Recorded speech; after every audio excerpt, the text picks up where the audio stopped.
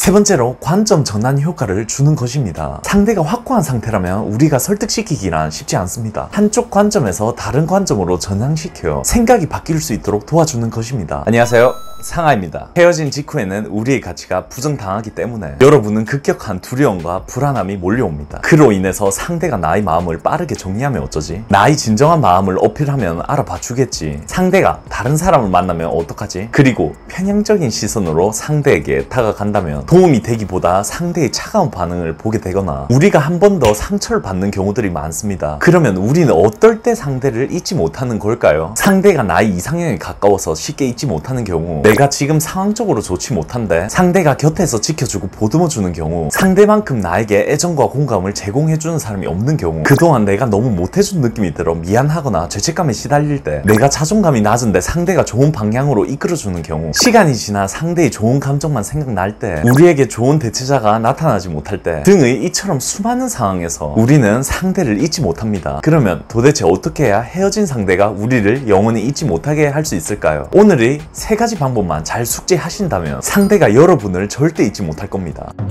첫 번째로 상대성 심리를 잘 활용하세요. 우리는 모든 연애마다 상대방에게 모든 것을 맞출 수 있는 100점짜리 연인이 될 수가 없습니다. 또한 모든 연애 방식마다 똑같은 기준치를 요구하거나 똑같은 행동을 하시면 안 됩니다. 다만 나와 상대방의 성향과 기질을 잘 파악하면 상대에게 어떻게 이끌어 나가야 할지 잘 알 수 있습니다. 그래서 상대성 심리를 잘 이해하시는 게 중요합니다. 사람마다 제각기 사랑하는 방식은 다 상이하기 때문에 그 사람 자체를 들여다볼 수 있도록 그 사람에게 맞춰서 생각할 수 있도록 노력해 주셔야 우리가 특별한 존재로 남아 상대가 쉽게 잊지 못하고 기억에 남게 되는 겁니다. 단순히 자기 개발 등으로 우리 외적인 가치를 발전시킨다고 해서 상대가 못 잊거나 특별한 사람으로 남는 게 아니라는 거죠. 세 가지 경우를 예를 들어보겠습니다. 여러분들이 늘 잘해줬던 사람만 만나는 경우입니다. 새로운 사람이 정말 사랑하는데 불구하고 이전 사람보다 행동이 덜 한다고 해서 마음속에 쌓아두고 있거나 매번 감정을 표출하며 상대에게 지속적으로 부정 감정을 많이 심어두게 된다면요. 그 상대도 더 이상 노력해도 나아지는 게 없다고 느껴 마음을 정리할 수 있게 되는 거고요. 그럴 땐 재빠른 사과나 풀어주는 게 중요할 거고요. 상대가 남성성이 강하고 회피적인 성향이 있는 경우 우리가 여성성이 있다면 바로 바로 대화를 시도하거나 사랑을 속삭여서 상대를 설득시키려 하고 마음을 돌리기 위해서 노력할 겁니다. 처음 한두 번은 통하게 되더라도 점점 우리 가치가 적응이 되고 상대가 수용하는 한계치가 다다르게 되면요.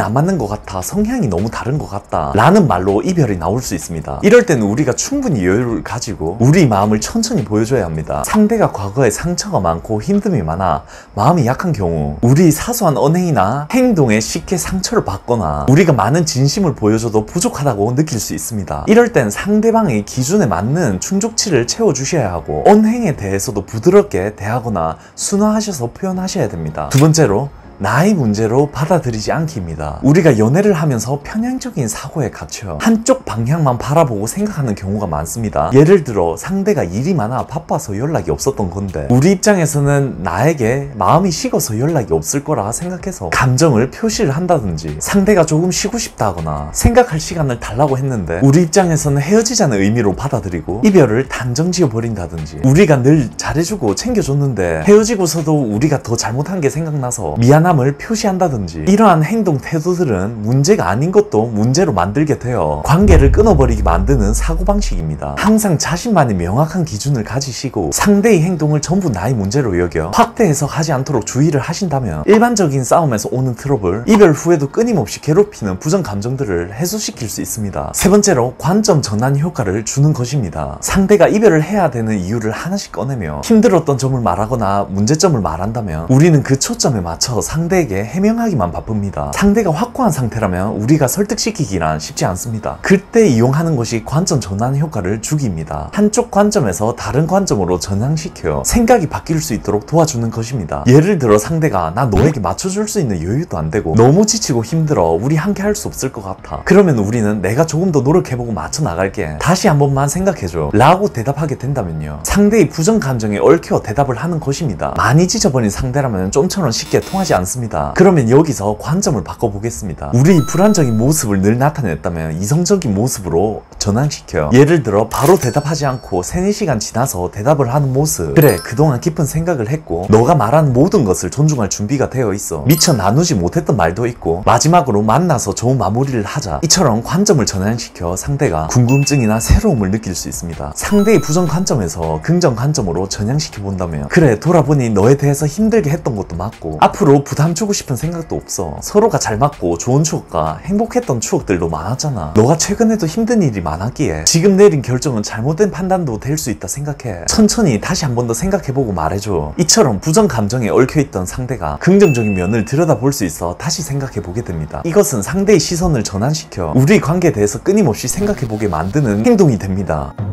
이러한 세 가지는 전부 나무를 보기보다 숲을 보는 방식을 설명한 것입니다. 우리가 정말 상대방에게 잊혀지지 않고 싶은 상대가 되고 싶다면요. 나에 대한 컨트롤을 넘어서서 상대방에게 좋은 영향력을 줄 수 있고 관계에 대해 관망할 수 있는 사람이 될 수 있으셔야 합니다. 그래서 나를 잘 돌아볼 수 있고 나의 문제점을 잘 수용하고 상대에 대해서도 이해하려 할 때 비로소 관계는 중심을 잡을 수 있고 안정감이 커지면서 헤어지더라도 상대 역시 이기 힘든 존재로 남게 됩니다. 오늘 전달드린 세 가지 내용을 다시 곱씹어 보시면서 내 것으로 만들 수 있도록 노력하시고요. 또 한쪽 시선에 갇혀 바라보기보다 다각적인 사고로 해석하고 나아가신다면 지금보다 더 성장할 수 있고 상대에게 원하는 사람이 될 수 있을 거라고 확신합니다.